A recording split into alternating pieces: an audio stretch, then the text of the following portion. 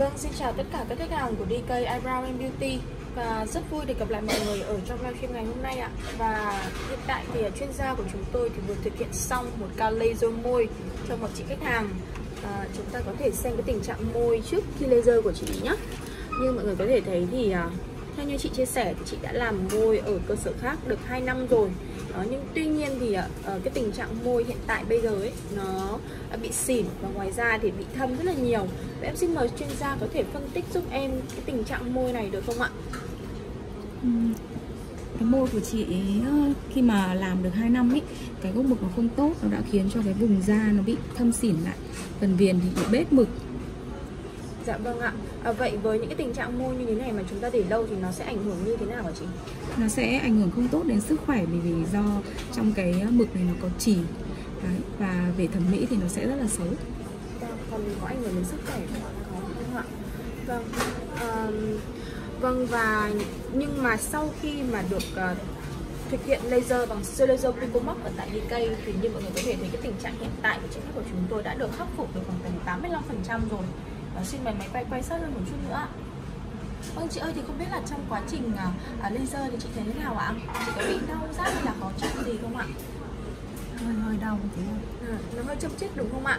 À, vì à, à, chuyên gia có thể phân tích cái tình trạng da của chị giúp em được không ạ? da của chị rất là mỏng vừa mỏng và vừa nhạy cảm nữa À, vậy với cái môi như thế thì như thế nào chị? Những cái môi như vậy thì khi laser nó sẽ như thế nào ạ? à, nó sẽ hơi nề một chút thôi.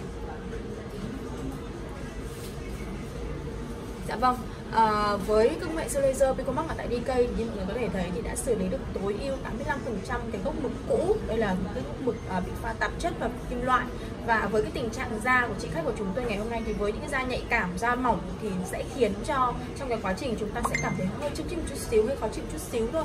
Ngoài ra thì không hề có cái uh, hiện tượng là bị đau rát hay là khó chịu gì uh, mà chúng ta không thể chịu được được đó là nhất là trong cái quá trình uh, sau khi laser thì đặc biệt là các chị em không cần phải kiêng cữ bất cứ một thứ gì cả vì uh, trong cái quá trình làm vô cùng an toàn vô cùng là hiệu quả uh, và nếu như các chị em có à không biết là chị khách hàng có hiện laser mày không? có chị có có, có máy Dạ vâng ạ, chị xử lý giúp em được không ạ? máy của chị luôn nhé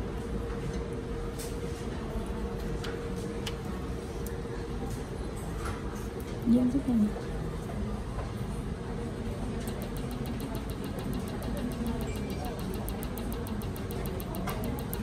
Như mọi người quan sát thì chuyên gia của chúng tôi thì đang thực hiện uh, quá trình laser mày cho chị khách hàng. Chị không biết là lông mày mình làm bao nhiêu lâu rồi ạ? Dạ. hai năm em 2 năm vâng, làm được 2 năm rồi. Nhưng tuy nhiên thì uh, với cái dáng mày này nó khá là tha. Và không biết là cái tình trạng lông mày này của chị như thế nào chuyên gia có thể phân tích giúp em được không? Mực của chị bị trổ xanh và chị cũng treo cung mày nữa. Nó đã cắt lẹm vào cái phần dáng mày của chị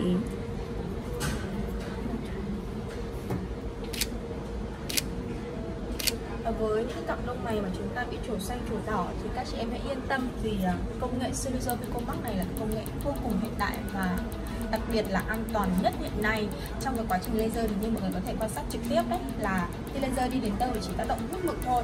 Và ngoài ra thì cái vùng da của chúng ta không hề bị ảnh hưởng, không hề có cái dấu hiệu ờ, là bị bong chóc, chảy máu và đặc biệt là không hề cháy trụi lông, mọi người nhé nên là mọi người có thể tham khảo thêm thật nhiều livestream, thật nhiều clip ở trên fanpage của BK để có thể tìm hiểu được uh, tất tần tật về uh, chi tiết về cái cơ chế hoạt động của Solution Picomax và cũng uh, có thể xem được tất cả những cái uh, liên quan đến dịch vụ cũng như là đến chương trình này được áp dụng ở tại BK ạ. Và cảm ơn mọi người đã theo dõi livestream ngày hôm nay. Xin chào và hẹn gặp lại mọi người ở những livestream tiếp theo nhé.